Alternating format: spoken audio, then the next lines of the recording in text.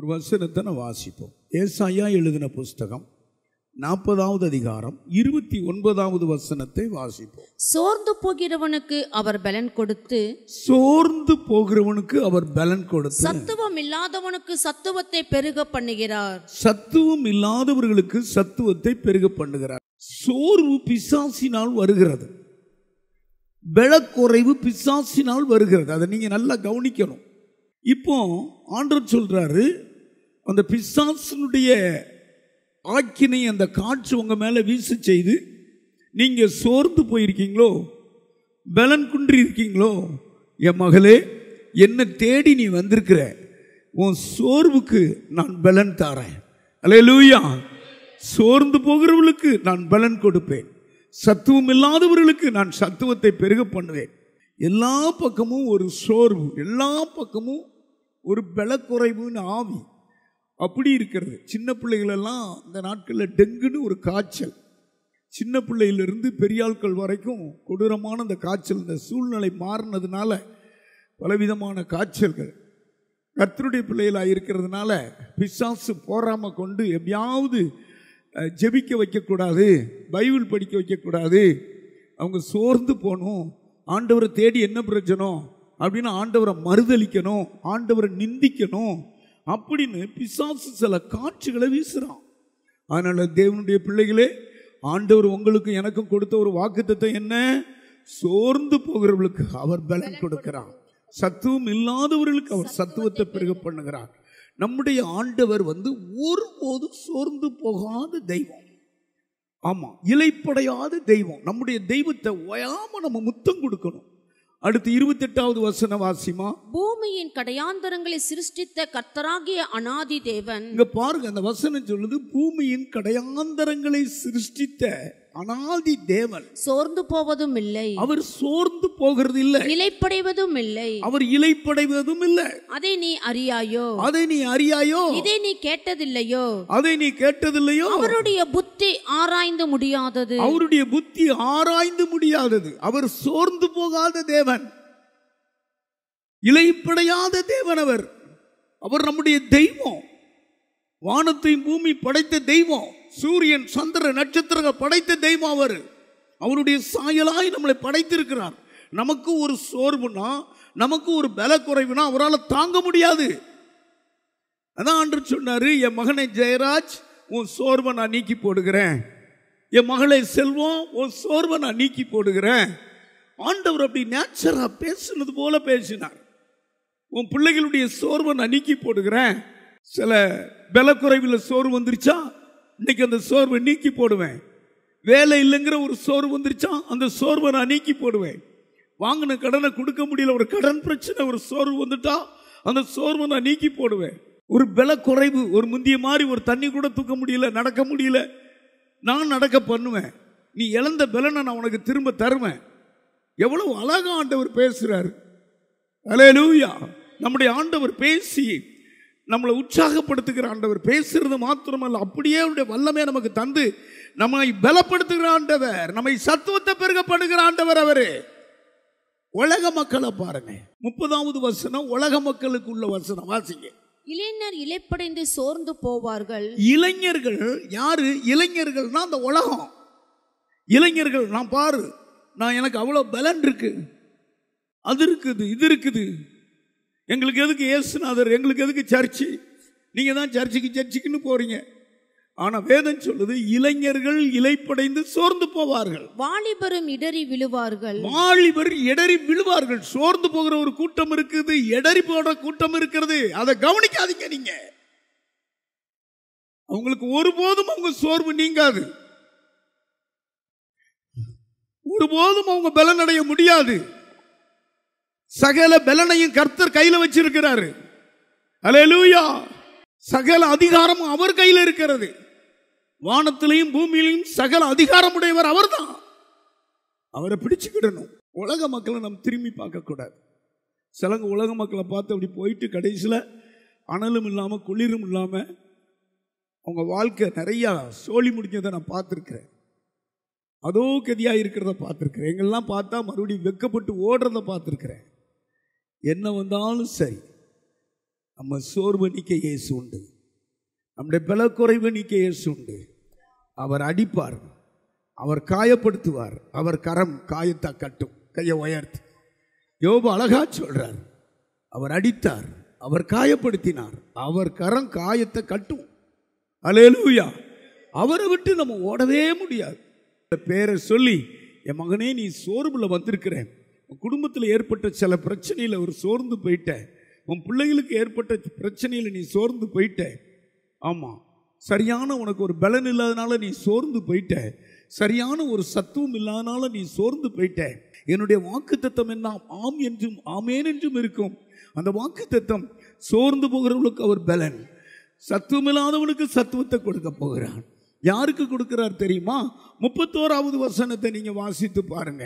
கர்த்தருக்கு காத்திருக்கிறவர்களோ கர்த்தருக்கு காத்திருக்கும். கர்த்தரையே நம்புறவங்க கவனிங்க கர்த்தரையே நம்புறவங்க. நீங்க அடிச்சிங்கிட்ட ஆண்டவரே என்னை நீங்க ஆச்சுங்க ஆண்டவரே எனக்கு பலன் தாங்க ஆண்டவரே.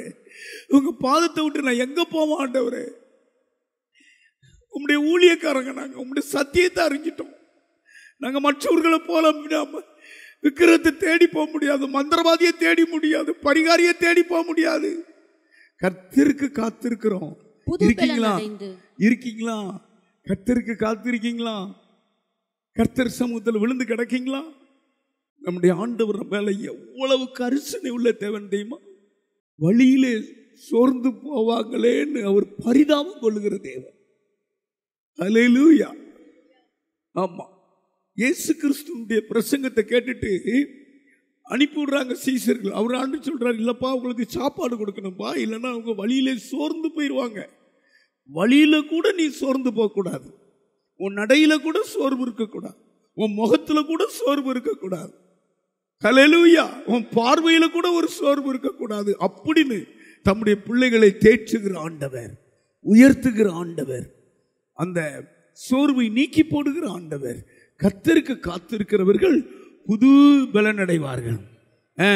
கழுகுகளைப் போல கழுகுகளைப் போல பலன்லே அதிக பலன் கழுகுக்கு தான் அப்படி சல்லுன்னு பல ஆயிரம் கிலோமீட்டர் மேலே ஏறிடும் கழுகுகளைப் போல பலனடைந்து அவர்கள் ஓடினாலும் இலைப்படையார்கள். அதுதான் அந்த வாக்கு தத்தம்லாம் உங்களுக்கு தான் இதுவரைக்கும் நீங்கள் பலவீனத்தோடு வந்திருக்கலாம். இந்த பிரசங்கத்தோடு உங்க பலவீனம் உங்களை விட்டு போக போகிறது.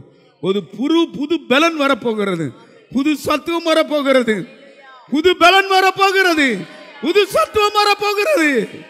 ஆபத்து காலத்தில் நீ சோர்ந்து போவாயானால் உன் பலன் குறுகினதா இருக்கும். சோர்வு வரும் பொழுது அது நினைச்சிக்கோ.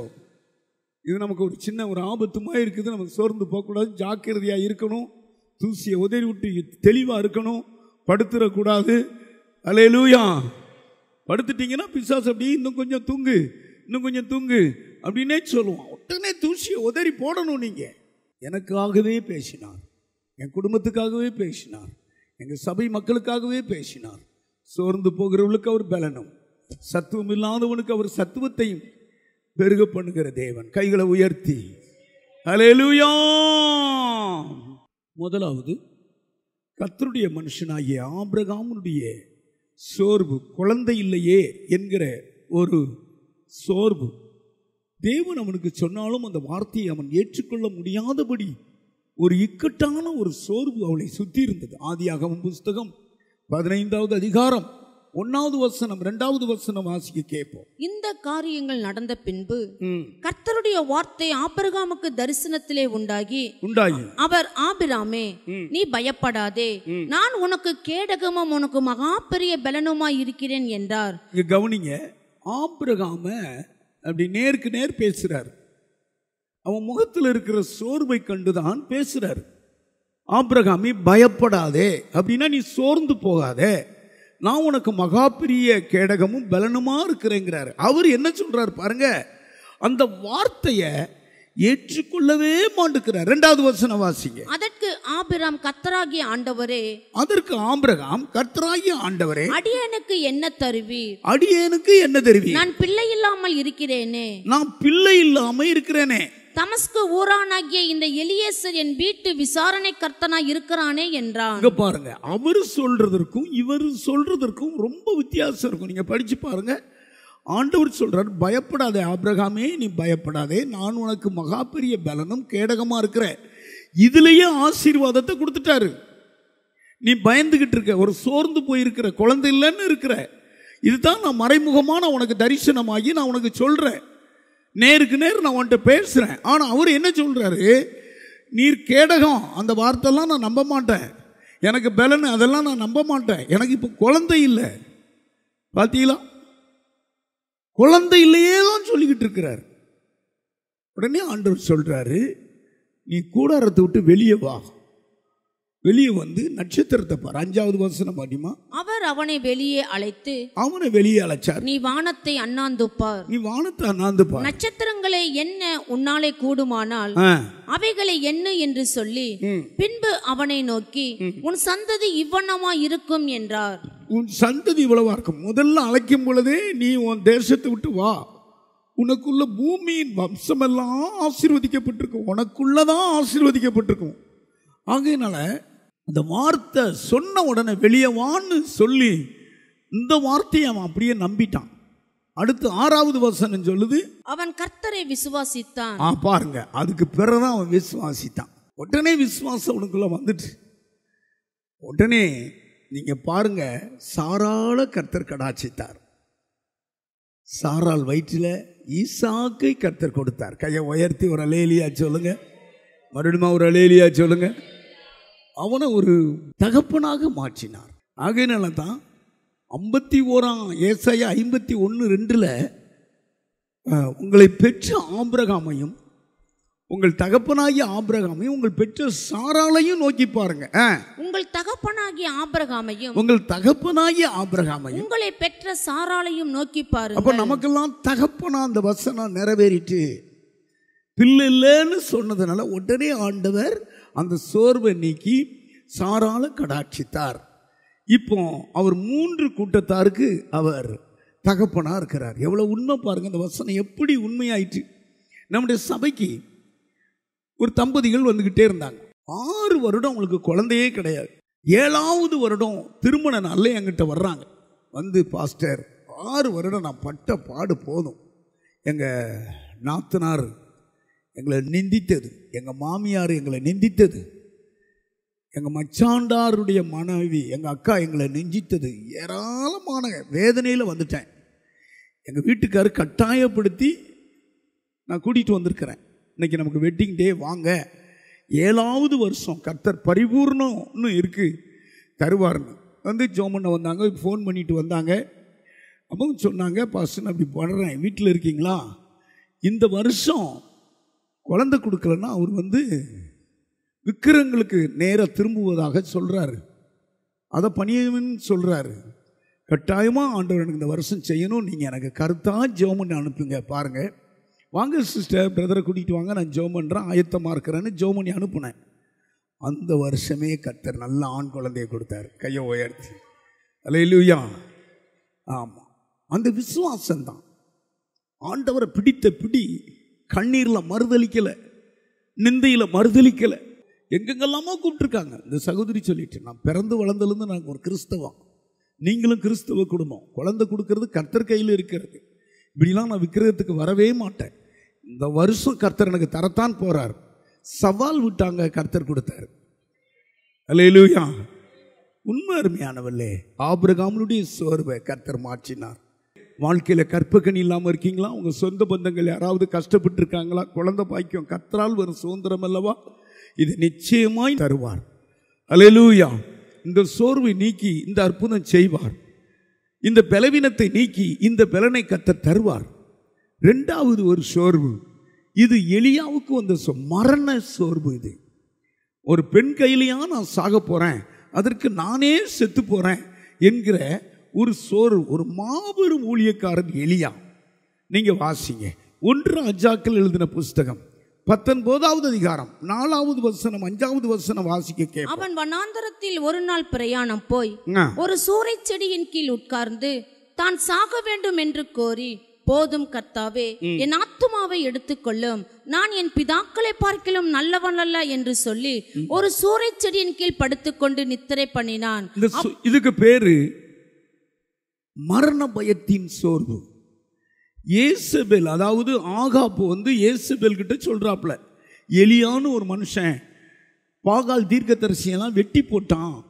அப்படின்னு அவன் கொதிக்கிறான். அப்படி வெட்டி போட்டானா? அவனை நானே கொலை செய்வேன். அவன் எங்கே இருக்கான்னு பாருங்க. அப்படின்னு ஆட்களை அனுப்புகிறான் இது எலியாவுக்கு கேள்விப்பட்ட உடனே வாழ பிரியமில்லை. ஆஹா ஏசபேல் கையில் சாகிறத விட நம்மளே செத்து போகலாம் அப்படின்னு சொல்லி ஒரு சூறச்செடிக்குள்ள போய் உட்கார்ந்து போதும் கர்த்தாவே ஆமாம் என் ஆத்துமாவை எடுத்துக்கொள்ளும் நான் மறிக்க போகிறேங்கிறான். பாருங்க விடுவாரா? ஆண்டவருக்காக பக்தி வைராக்கியமாய் வாழ்ந்தவன் எலியா. கையை உயர்த்தி. எலியாவை நீங்கள் வாஸ்தா பில்லரிக்கும் பார்த்துக்கோங்க. எலியாவினுடைய ஊழியம் அவ்வளவு பிரகாசமான ஊழியம். வானத்தை திறந்தார் வானத்தை அடைச்சார். ஹalleluya ஒரு செகண்டில் பின்வாங்கி போனவங்களெல்லாம் கர்த்த பக்கமாய் கொண்டு வந்தார். ஆக அப்போ பார்த்து சொல்கிறார் உன் ரதத்தை போட்டுட்டு வீட்டுக்கு ஓடு சீக்கிரம் பெரிய மழை வரப்போகுது. சவால் விட்டார். அவர் செய்த ஏழு அற்புதங்கள் அழியாத அற்புதங்கள். அப்படிப்பட்ட ஒரு மனுஷன் மண்ணுக்குள்ளே படுத்து மூஞ்ச மண்ணால் மண்ணுக்குள்ளே வச்சு பூத்திக்கிட்டு இருக்கிறார். போதுங்கத்தாவே இது ஆண்டவருக்கு தெரிஞ்சது. ஆகா என் ஊழியக்காரன் நம்ம விடக்கூடாது. இப்படி சோர்ந்து போயிட்டானே. இப்படி சத்துவம் இல்லாத போய் சூறச்செடிக்குள்ள போய் படுத்துட்டானே. ஒரு தூதன் அனுப்புகிறார் அஞ்சாவது வசனத்தை நீங்க வாஸ்தா வாசிங்க. ஒரு தூதன் அவனை தட்டி எழுப்பி ஒரு தூதனை தட்டி எழுப்பி எழுந்திரு போஜனம் பண்ணு என்றான். எழுந்திரு போஜனம் பண்ணு என்றான். அவன் விழித்து பார்க்கிற போது இதோ தழலில் சுடப்பட்ட அடையும். தழலிலே சுடப்பட்ட அடையும். ஒரு பாத்திரத்தில் தண்ணீரும் அவன் தலைமாட்டில் இருந்தது. பாருங்க எங்க இருக்கு? சூரச்செடி எங்க இருக்குது? பாத்திரம் எங்க இருக்குது? இது ஒரு மனுஷனுக்காக கர்த்தர் கொண்டு வந்தார் பாருங்க. எல்லாரும் ஒரு அலேலியா சொல்லுங்க. யோசித்து பாருங்க நம்முடைய தேவன் எவ்வளவு நல்ல தேவன். ஒரு ஊழியக்காரனுக்கு பாத்திரத்தில் தண்ணீர் கொடுத்து அடையும் கொடுத்து அவனை தட்டி எழுப்பி சாப்பிடுப்பாங்கிறார். நீங்கள் இது ஒரு பக்கம் வைங்க. மறுதளிச்சு போயிட்டாங்கல்ல? மறுதளிச்சு போனவங்கள சீச ஏசு தேடி போய் மீன் கண்டத்தையும் தணலினால் சுடப்பட்ட அப்பத்தையும் கொடுக்குறாரு. கையை உயர்த்தி கடற்கரையில் எப்படிங்க? தணல் வந்தது. ஆச்சரியங்க. ஆண்டவருடைய வழிகளை நினைச்சா ஆச்சரியம் அதிசயமாக இருக்கும். அப்படி ஆண்டவர் போசிப்பார் கர்த்தருடைய பிள்ளைகளை. எப்படி தட்டி எடுக்கிறார் பாருங்க. அப்பத்தை சாப்பிட்டாரு தண்ணியும் குடிச்சாரு மறுபடி படுத்துக்கிட்டாரு. மறுபடியும் இது சாப்பிடுப்பாங்கிறாரு. அதில் நாற்பது நாள் அந்த பலத்தில் நடந்தார். மறுபடி போய் ஒரு குகைக்குள்ளே படுத்துட்டார். உடனே கேட்குறாரு இங்கே உனக்கு என்ன வேலை? அவருடைய திட்டத்தை செய்து முடிக்கும் வரைக்கும் அவர் மேலே கிருபையாக இருந்தார் கையை உயர்த்தி. சோர்வு அவளை தொடவே இல்லை. சோர்வு அழகா நீக்கினார். அவர்தான் அக்னி ரதத்தில் பரலோகத்துக்கு போனவர். கையை உயர்த்தி ஒரு லேலியா சொல்லுங்க. மறுபடியும் ஒரு லேலியா சொல்லுங்க. கத்தருக்காக ஒரு நாள் பிரயாசப்பட்டாலும் அவர் கணக்கில் வச்சிருக்கிறார். உன் கண்ணீரை துருத்தியில் வச்சிருக்கிறார். ஆமாம் ஒன்றும் வீண் போகாது. உன் அலைச்சலை அறிஞ்சு வச்சிருக்கிறார். ஒரு நாள் நீ வைராக்கியமாக இருந்ததை கத்தர் பார்ப்பார். லேலூயா கத்தருக்காக நீங்கள் வைராம வைராக்கியமாக இருக்கும்போது உங்கள் சோர்வு உங்களை மேற்கொள்ளாது. அந்த சோர்வு உங்களை விட்டு போகும். கர்த்தருடைய திட்டம் நிறைவேறும். மூணாவது ஒரு சோர்வு. இது இயேசு கிறிஸ்துவை தனிமைப்படுத்தின ஒரு சோர்வு. அவர் எப்பொழுதும் கவனிங்க சீசலோடு கூட இருந்தார். அது மாத்திரமல்ல பேதுரு யாக்கோபு யோவான் என்று நெருங்கின சீசர்களை வைத்திருந்தார். அவர் கடைசி நேரம் ஜோம் பண்ணுங்கன்னு இருந்தார். உங்கள் ஜெபம் தான் எனக்கு தேவைன்னு பண்ணாங்க. அவங்க தூங்கிக்கிட்டே இருந்தாங்க. ஒரு மணி நேரமாவது விழித்திருந்து ஜெபிக்க வேண்டாமா நான் உடனே இவர் வந்து ஆண்டவர் இயேசுக்குள்ள ஒரு ஆத்தும பாரம் வந்துட்டு ஒரு கலக்கம் வந்துட்டு. வேதம் சொல்லுகிறது ஒரு தூதன் வந்து அவரை தேர்ச்சினானாம் லூக்கா எழுதின புஸ்தகம். இருபத்தி ரெண்டாவது அதிகாரம் நாற்பத்தி மூணாவது வசனத்தை வாசிக்க கேட்போம் அப்பொழுது வானத்திலிருந்து ஒரு தூதன் தோன்றி அப்பொழுது வானத்திலிருந்து ஒரு தூதன் தோன்றி அவரை பலப்படுத்தினான். அவரை பலப்படுத்தினான். கைகளை உயர்த்தி ஒரு லேலியா சொல்லுங்க. அலேலூயா ஆண்டவராகிய இயேசு கிறிஸ்து நம் ஒவ்வொருவரையும் அதாவது பலப்படுத்தணும். என் பிள்ளைகள் கலங்கக்கூடாது என் பிள்ளைகள் ஆமாம் சுடர்களைப் போல பிரகாசிக்கணும். என் பிள்ளைகள் ஒளிவு மர கஞ்சுகளைப் போல என் பந்தியை சுற்றிலும் இருக்கணும்னு விரும்புகிறாரு ஆனால் அவரே அவரை விட்டு சீசர்கள் எல்லாம் ஓடிட்டாங்க. ஓடினாலும் நம்முடைய ஆண்டவரை பார்த்தீங்கன்னா விட்டு கொடுக்கவே மாட்டார். சரி ஓடிட்டாங்களே விட்டு கொடுத்துடலாம் அப்படின்னு விட்டு கொடுக்கவே மாட்டார். அவருடைய ஆத்மா மரணத்துக்கு ஏதோ துக்கம் கொண்டிருக்கு. பயங்கர சோர்வுக்குள்ளே போகிறாரு தேய்ச்சுக்கிறதுக்கு ஆளும் இல்லை. என் பிதாவே ஏன் என்னை கைவிட்டீர் என்று சொல்லுகிறார். அதுக்கு முன்னால் உள்ள வசனத்தெல்லாம் நீங்கள் படிச்சீங்கன்னா பிதாவே ஏன் என்னை கைவிட்டீர்னு சொல்கிறாரு இப்போ தீவெட்டியோடு ஜனங்கள் வர்றாங்கல்ல. இவன் ஜெபம் பண்ணாம தூங்கிட்டு தானே இருந்தாங்க காட்டி கொடுத்துருக்கலாம்ல. உடனே மறிக்கிறார்.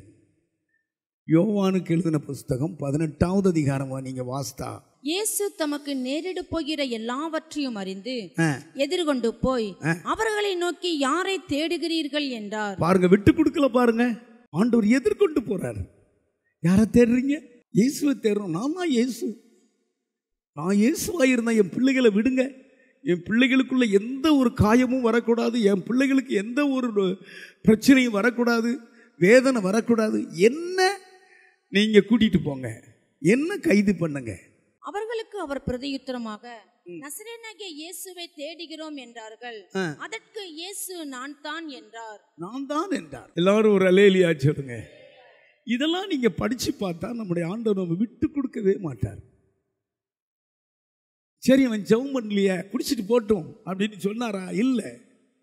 நம்ம மேல அவ்வளவு அக்கறையுடையவர். ஒரு தூசி கூட நம்ம மேல பட விட மாட்டார்.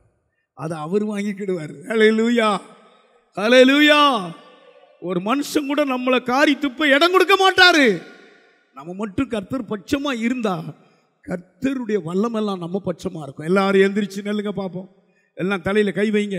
எல்லாம் தலையில் கை வைங்க. இதற்காகத்தானே இயேசு ரத்தம் சிந்தினார். இதற்காகத்தானே இயேசு அடிக்கப்பட்டார். இதற்காகத்தானே இயேசு நொறுக்கப்பட்டார். ஓ ஹalleluya. இன்றைக்கு உள்ள செய்தி அவர் சோர்ந்து போகிறவர்களுக்கு பலனும் சத்துவம் இல்லாதவங்களுக்கு சத்துவத்தை பெருக பண்ணுகிற தேவன்.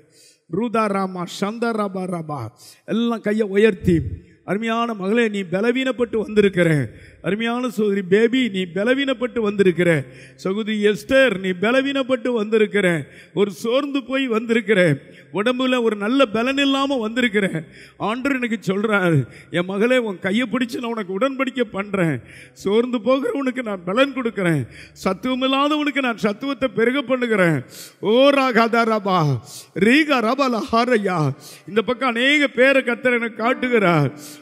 பிரதர் செல்வம் உங்க சோர்வு இன்னைக்கு மாற்றுகிறார். கத்துடைய வல்லமை இறங்குகிறது. சோர்ந்து போய் வந்திருக்கீங்களே.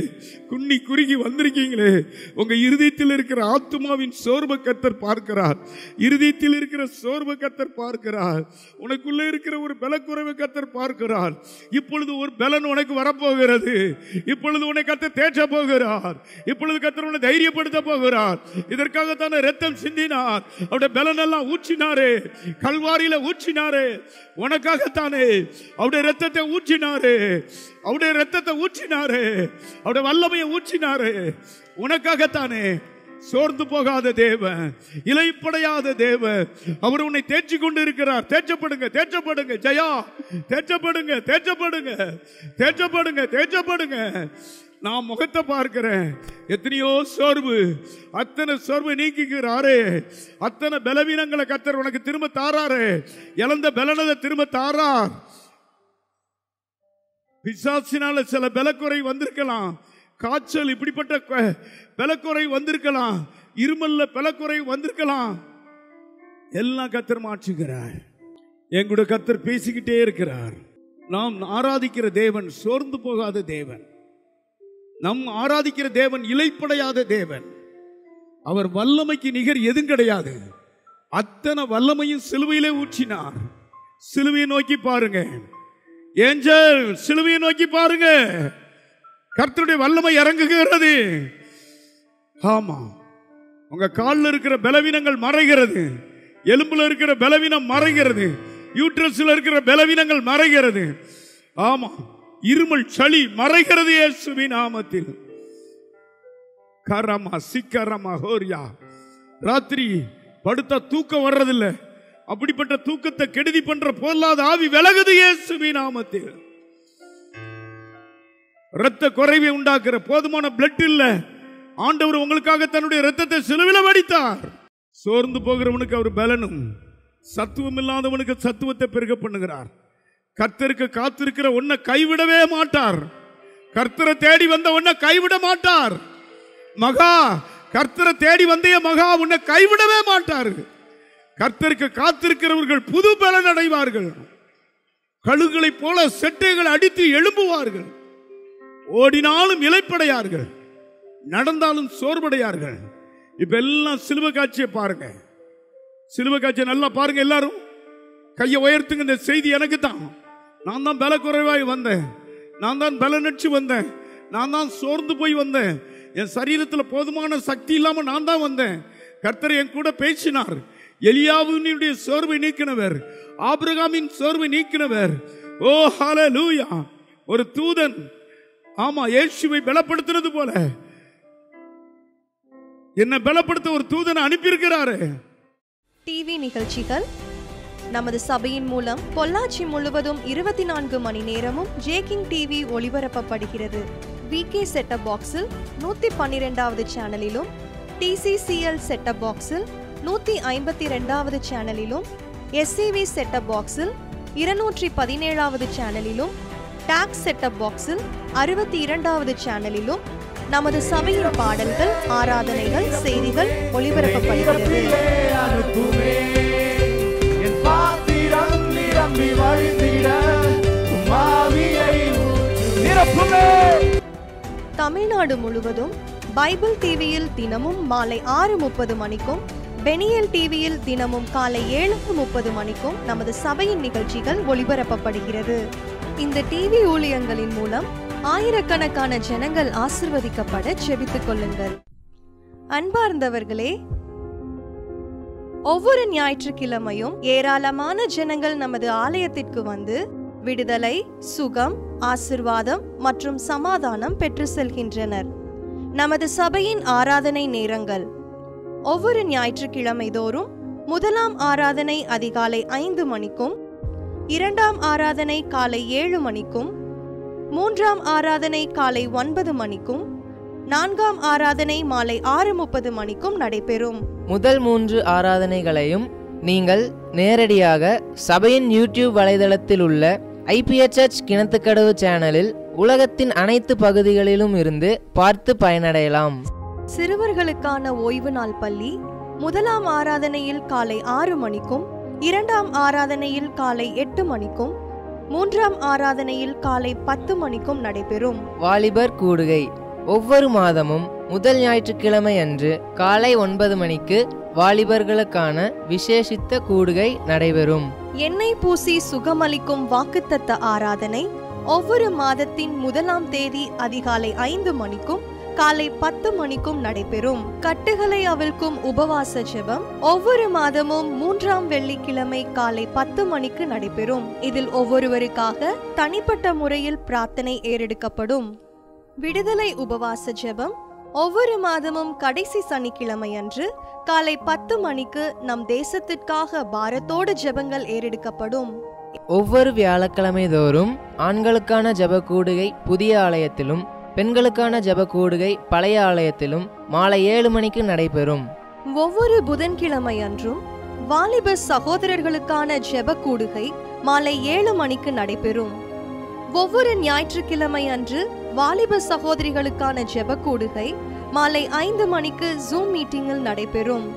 நமது சபையில் தினமும் காலை பத்து மணி முதல் இரண்டு மணி வரை சபைக்காகவும் தேசத்திற்காகவும் ஜெபங்கள் ஏறெடுக்கப்படும். இக்கூட்டங்களில் கலந்து கொண்டு தேவ ஆசிர்வாதம் பெற யாவரையும் அன்புடன் அழைக்கிறோம். எங்களது முகவரி ஐபிஏ ஜெப ஆலயம் சர்வம் தியேட்டர் பின்புறம் Pollachi main road Kinathukadavu six four two one zero nine. ஜெப உதவிக்கு nine double four three four three five six one eight nine four triple eight seven three two eight four